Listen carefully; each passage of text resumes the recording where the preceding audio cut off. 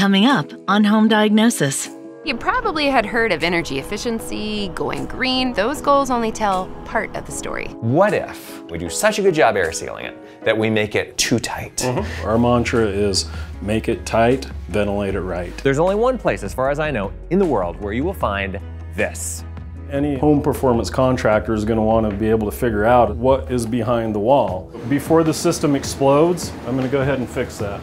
Home Diagnosis is made possible by support from the Alfred P. Sloan Foundation, by Fantech, Breathe Easy,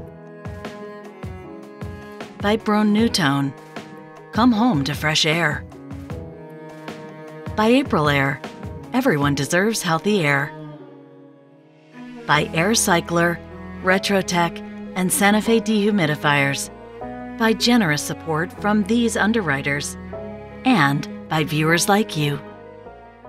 Welcome to Home Diagnosis. My parents like to say we make unusual choices, like living in 200 square feet with two kids and two cats. Or hosting a YouTube channel about home performance and building our own houses. Home performance goals and metrics are still unusual choices, but believe it or not, the science is as old as I am. In today's episode, we're starting at the very beginning how the science of homes developed, and why you don't see it on other home shows, and what you've been missing in your own home projects. We'll be specific so you can know the secret stuff to ask for and learn the number one way to really be the master of your own home. They say home is where the heart is. And we certainly put our heart into building our first house, so how hard could it be to build another one? I'm Grace. And I'm Corbett. In our tiny lab, we helped homeowners gain control of their homes through scientific testing. Now, as we build our forever home, we're testing ourselves. Even though we know a few things about the invisible dynamics of homes, we're teaming up with scientists and building experts to design and build a perfectly tuned home for our family. The physics, chemistry, and microbiology of a home might seem mysterious, but it doesn't need to be. While this is a personal story full of twists and turns, it's also the story of the science of homes. Join us to unlock the mysterious science of your home, too. For all the scientific approaches that we're trying to take with this home, we realize that it's all based on total nonsense magic mojo because it's all based on dirt. And where we wanted to put our house, there was actually a foundation. So we had to tear up the foundation. And under that, we found another house buried. We have a septic tank, which we didn't know about. We're gonna build our house right on top of this thing. Not. We're finding trash buried all over this property, and that's that's rude, but burying trash where somebody would want to build a house is not nice, especially. So we had to obviously take that all out. We dug way down past where we wanted to, and so we found lots of huge rocks in the way. So part of the house is going to be built on the rock, which is what the wise people do, right? Yes, build but, your house on the rock. Right, so what we want to do is make sure that the house doesn't settle unevenly. So we had to turn the rest of the dirt that was not rock into basically rock by compacting it and compacting it and compacting it and only bringing in this much at a time and then compacting that and bringing in. So we literally had three dump trucks of the old house removed and then several dump trucks of new dirt added. And we had our geotechnical engineer come out and confirm it. So first day of construction on the house and we go $10,000 over budget and several weeks behind schedule. When you know when the suffering is that good, you must be on to something wonderful. They say renovating a home is like trying to build a home with another home in the way. Let us introduce you to some experts at tuning the performance of older homes. So, here is a house that's about to get a performance upgrade that is funded by tax dollars. This is a really exciting program that has helped income challenged people for decades. Let's go see what they're about to do. So Jesse is in charge of today's activities, and we've got holes in the wall behind us. Can you describe what exactly we're seeing here? These holes are to Dense-Pak um, wall insulation. We'll use a chair rail to cover the holes. The chair rail is like, it's a, that's pretty fancy um, because normally we're just patching over this stuff, which is why normally this doesn't happen from the inside unless you've got somebody who's classy who can figure out how to make it look nice. So this is how we're gonna be shooting this in here. We're spearing this up into the wall. We have very high-tech filter yeah. fabric to keep it from jetting out of the wall at us, right? How long does it take to do this entire house? If we had all the holes and everything prepped, it'd be blown in probably two hours max. So. Awesome.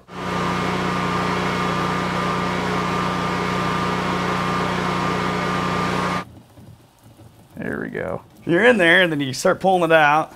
We're coming along, and it's filling up. And you're like, oh, crap. And big old burst out. If you get right to there, you know, you can get a blowout and blow everywhere and make a mess and get in people's hair. And in reality, it's not like it's it's yep. perfect every time. You're going to make a mess. This That's why we got plastic. Every time. Yeah. yeah, and you got plastic and shot back to clean up. Of course, the other main thing you got to be careful about is not blowing apart the wall because we've there's been cases where you start blowing a wall and if it's not strong enough, you'll start seeing the sheetrock almost start to bounce. You got to be careful about not ripping a whole sheetrock off the wall. It gets scary.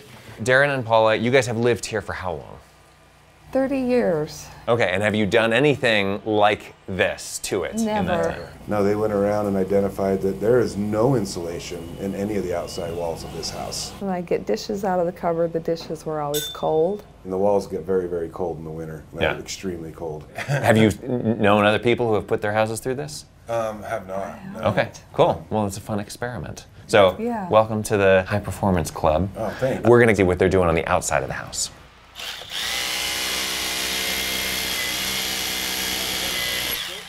Do you guys ever get worried you're gonna pop through the other side of the plaster? Every time. Always worry about that. Dense packing cavities is a really interesting application. It is elegant, it is an art. Of course, I hope you remember that the main ingredient of that insulation is air bubbles. That is what really you're paying for. That is what is gonna trap the heat. So if you imagine that we're gonna shove this in here and we're gonna pack a bunch of this cellulose insulation into this wall cavity, what we're doing, technically, is squeezing the air bubbles out. And that is reducing the insulation value of this. But what we're getting in return, if we do it in the right ratio, is air tightness. And it's not the same as air sealing with something that's gonna really stop air. It's just slowing down the air leakage enough so that we can really affect the performance of this house on just the walls alone. So this whole injecting requires you to feel and listen and have kind of a sixth sense with what's going on in this wall cavity behind where I can't see anything. And you want to be especially careful as they're working from outside not to, as Zack mentioned, blow out the wall inside. And that can be both messy and expensive. So, Wade, I know that your crews really know what they're doing. They are. By this very point. good. So, let's just play a little game for a second. What if we do such a good job air sealing it that we make it too tight? Mm-hmm. Uh, what happens at that point? So, you're going to start having VOC build up, you're going to have indoor air quality problems, you're going to have moisture issues. So we need to address ventilation. So our mantra is make it tight, ventilate it right. Okay. So now though, we've stepped out of the realm of energy efficiency and we're now going to cost energy because we're going to plug in mm-hmm. a ventilation system. Yep. How has the program evolved to include performance stuff that has to do with moisture and air quality that doesn't actually save us energy at all? Right. How do you justify that to the people who fund this? It's health and safety. Um, yeah, you, you, you make a house nice and energy efficient, but you can also make a house dangerous if you don't address the health and safety side of it. Mm-hmm. We want to make it as energy efficient as possible, but it's also got to be safe. Because okay. what's the good of an energy efficient home if it kills you? Exactly. Okay. You said we need to ventilate right. What does that mean when we're talking about a program that has a, a, very tight budget and we want to make sure that we make every dollar go as long as it can? What are the strategies that you guys use? We want a known controlled rate of ventilation. We don't want wild card ventilation, which would just be open the window or whatever. And this is where this is so important normal contractors should be incorporating the techniques that these guys have been using for decades, which is that you do something, and then you test and you make sure that you have not created side effects, which you always do, but we want to know that we've predicted the side effects. Exactly. And they've started installing the ventilation system uh-huh. before they even know how tight they're going to get, right? Yep. yep. That's the best way to do it is that you know exactly what the crews can do because the crews have worked there for a little while. If you have a lot of turnover, then you got to constantly be training and you don't know what kind of work they do, which is another problem we have in the construction industry in general. But uh-huh. here we have a vent that's coming in from outside, right? Correct. And it's going to go straight into straight into the return on the furnace. The magic of this system is that it uses a fan that you already have in your house, the fan that's built into your furnace or air conditioner. The other benefit of this system is the outside air that we're bringing in is also filtered through the existing filtration system and they've installed a really nice high efficient MERV 11 filtration system in this So the outside air coming in is, is filtered and then also conditioned, assuming that the furnace is running. So Jordan, we're in there upgrading this home. What is your background that brought you into performance upgrades? So I left the restoration business where I used to do in-home assessments for damage, things like that, water, floods, fires. So what's the learning curve like? Do you think that anybody could do this job, first of all? Yes and no. It takes a lot of training. Um, these guys have been doing it for a while. It can be learned, but um, you know, it's fun. It's, it's an awesome field. I'm very new to it and I've loved it so far. Everything in home diagnosis centers on the invisible dynamics of physics and chemistry at work in your home, all day, every day. And a lot of people are trained to think it's all about energy efficiency. Here's why it's about so much more. We like to break home performance down into the 4 3 2 1 approach we talk so much about.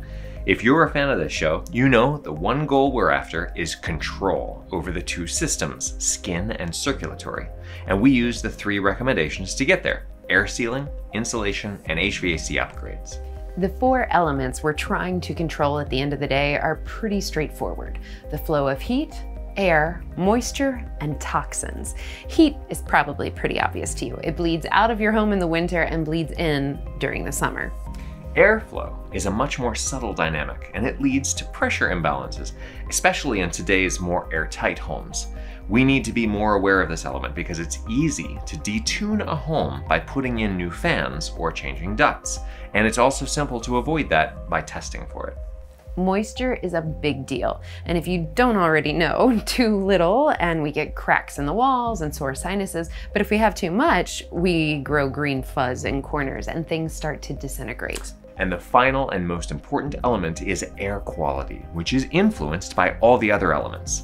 The air your family breathes at home is made of chemicals, some good for you and some toxic, and laden with life forms, again, some good and some bad for you.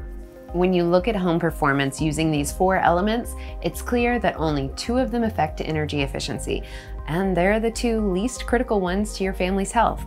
To control moisture and indoor pollution, we need machines that use energy, and that's not technically efficient.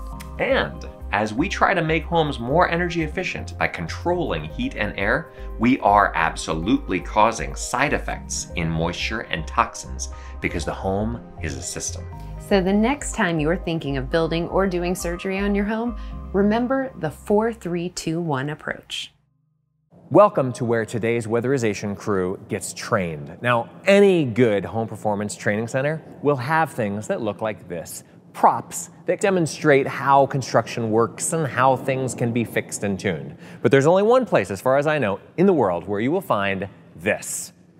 This is a house that is a shapeshifter. It can basically change its performance based on what we want to show today. So the weatherization professionals in Utah here at the Intermountain Weatherization Training Center are getting to see, just like you are about to, how the invisible dynamics of home performance can be changed to make a building fail and to tune it to work properly. Let's go inside. One of the things that any home performance contractor is going to want to be able to figure out is what is behind the wall. Um, normally, you can't see into the wall because of the sheetrock, so what we have here is the ability to look into the wall. Now we can put a blank on this so that it looks like the sheetrock basically. And then the way you figure out what's in there is you could use an infrared camera or you can use something as simple as this, just a, a coat hanger. And you would drill a hole in the wall. Now we've have some holes conveniently made so we don't have to keep drilling holes. And I can reach in here and determine depth of the wall. I can also visually look in there and see that the cavity has no insulation. If we had a cavity that did have insulation, I can go in with my little hook and pull it out and go, oh, okay, I've got cellulose in this wall, three and a half inches deep, and now I know what kind of R values inside of that wall. In the last episode, we talked about the shape of the house making a big difference on performance. Here is one of the features that we talked about, which is where the upper floor juts out over the lower floor. And this can be a big problem for the performance in a home, which is why in this training center, we can open this up and see what's behind it. You typically got insulation. You possibly could have ductwork in this area and you can see back in there that there's no blocking. So air can move from the cantilever back into the home and vice versa. Whereas we want to make sure there is blocking like in this bay right here that will stop the airflow. So in weatherization, we actually use this tool a lot. This is called a blower door. It's a fantastic way to measure a lot of things in the house. The thing that we measure first is just how leaky the whole entire house is. But then once we've done that, we can actually use this tool in conjunction with uh, some other tools and we can kind of look at different rooms in the house and we, we call those zones.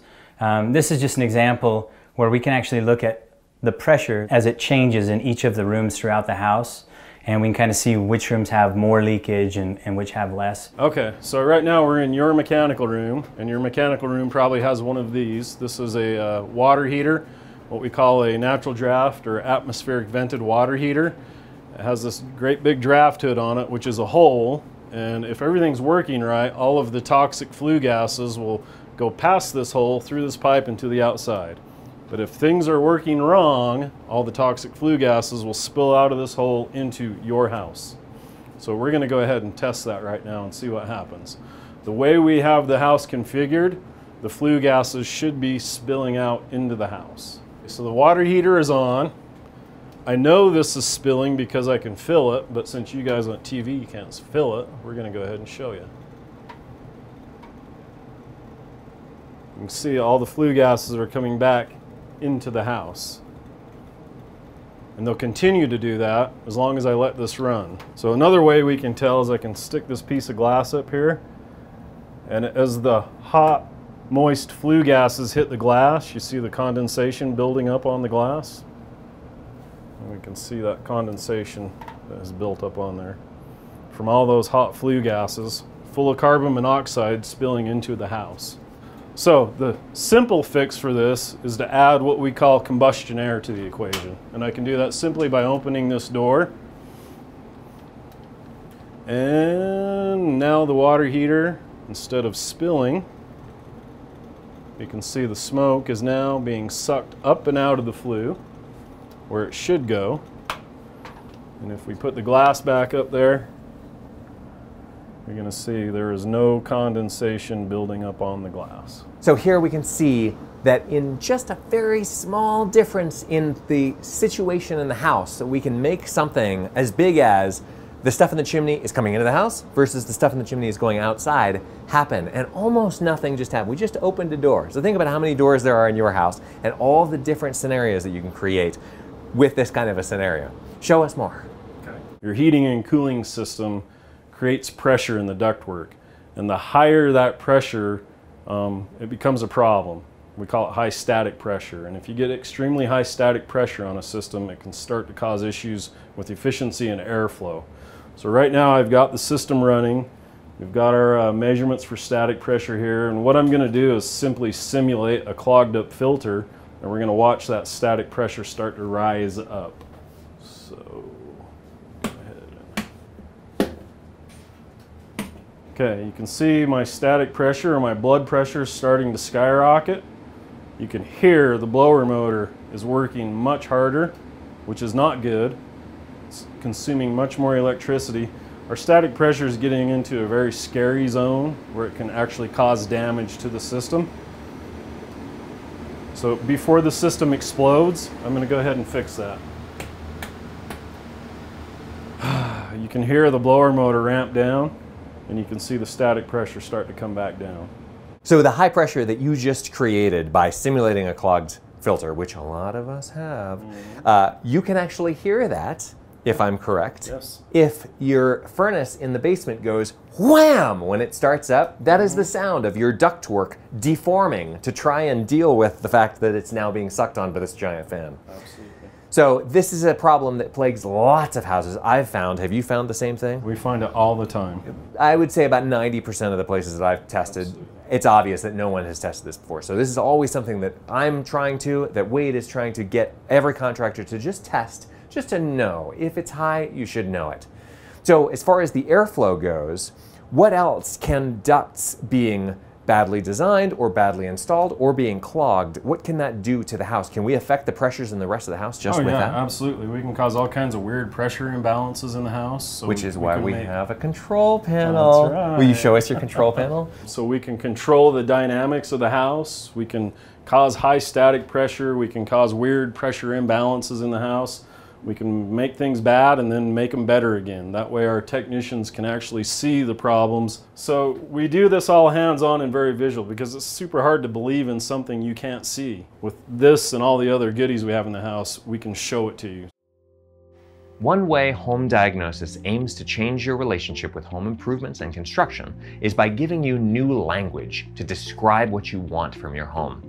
Most people are already trained to try and save money or time by making improvements quick and inexpensive, and to shop for home size or amenities or location. But whether you're building, buying, or improving a home, you can ask for performance. Look, being able to prove how healthy or comfortable your family will be in your home and predict how durable and low maintenance it will be in the long run is totally possible with today's test tools and techniques. Your job is to be as specific as you can about your performance goals so that the contractors you hire have targets they're aiming for. If you don't have a target clear in your head and spelled out in the contract, how can you know when the job is done? For example, making a home airtight is the number one way to achieve more control over performance. Know what blower door number you're after. If you want to future proof your home, the magic blower door metric is three air changes at 50 pascals. You don't have to know exactly how that's calculated, but it's a specific goal that's measurable, and that's the secret. If you're aiming for comfort control, aim for all the rooms in your home to be within three degrees of your thermostat set point. If you want proof of quality installation of your new furnace, aim for airflow out of each duct, tested within 5% of what was designed in the computer's heat load calculation. Some contractors will run away if you ask for targets like these, and that's good. They're not for you.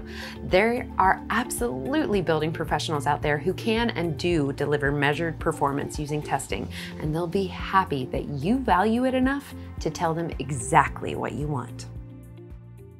When we first got this property, which we love, it had a giant workshop on it, which had started out in the 1930s as a stable and then became a blacksmith shop, and then became a junk shop where they basically just kept all the stuff that they didn't want to have to look at anymore.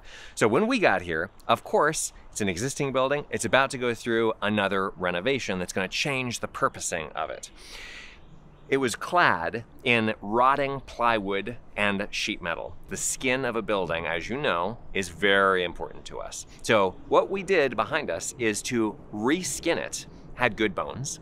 We put translucent skin on it. So it means that it allows light. And we also took all the junk out from inside because the space inside of this has become critical for our build. We need to be able to keep things in there to be able to make up for my lack of scheduling know-how because I just need to get things and then I'll use them whenever. Over here, there was a speedboat Inside, there was a Cadillac that had all four flat tires that we had to drag out and up the hill. Uh, and we spent a long time smashing the pianos and the guitars that were rotting inside that needed to be put into piles to be taken away. I could not watch that part. So let me take you inside and show you what it looks like now. As you can see, beautiful light in here. We do some filmmaking in this space as well, and obviously we're using it to keep quite a bit of the building materials. But the lighting that was here when we arrived was fluorescent lights, which is more energy efficient than some other kinds. But what is more energy efficient than fluorescent lighting? No lighting at all. We ripped out all the lighting because number one, when it's daytime, both the walls and the roof are translucent and it's gonna be well lit. And also when it gets dark at night, performance wise, my goal is to be at home hanging out with my family. Now, that being said, this is an outdoor workshop, meaning it's going to be moist in here, humid. It's warm right now. The sun is out. I have an uncle who has an outdoor workshop and his tools tend to rust over time. My dad has a woodworking workshop that is totally indoors and it's air conditioned and heated and uh, it's dust controlled and I didn't really want to be that crazy with my first workshop. So we decided to build this room behind me, which we call the Dry Vault. It's the world's highest performance tool shed. And you'll see that it is super airtight and insulated, and it's not air conditioned and heated. We have a very simple machine that controls this. Now listen to how airtight this is.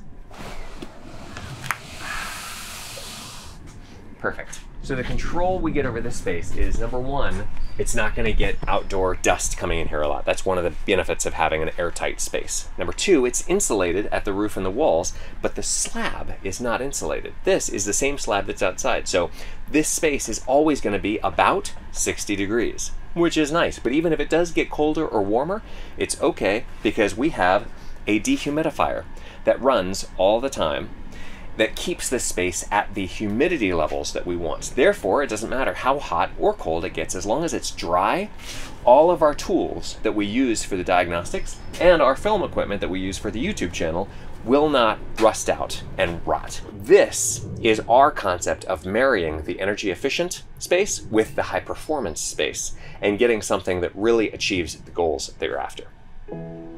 On Home Diagnosis, you won't hear us talking much about energy efficiency, but we do know a couple of secrets about it. Want to know the secret to powering my tiny lab? Here it is. If I came to visit you, you could unplug your toaster and plug in my entire house. I could then run everything at the same time off that plug. Energy efficiency wasn't our main goal with the Tiny Lab. We set out to make the world's highest performance tiny house on wheels. But by controlling performance, we get energy efficiency as a fantastic byproduct. Seems like you can't have it both ways. While we may be the first to tell this story on TV, before today, you probably had heard of energy efficiency, going green, maybe even noticed certain building certifications. But now, we hope you understand why those goals only tell part of the story. On the next episode, we'll dig into the spookiest part of every home, in my opinion water. How it can get in your home, why you really want to control it, and also how mold is only the tip of the iceberg. To learn more about any of these topics and the science you learned today, go to homediagnosis.tv. We'll see you next time.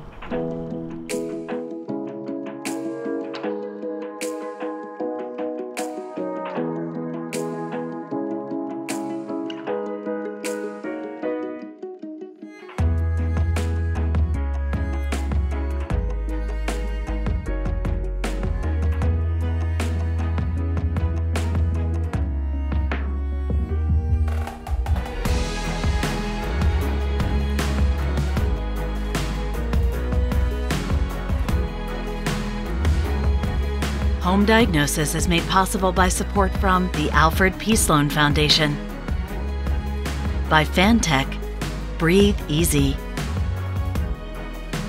by Broan NuTone, Come home to fresh air, by Aprilaire, everyone deserves healthy air, by AirCycler, Retrotec, and Santa Fe dehumidifiers, by generous support from these underwriters. And by viewers like you.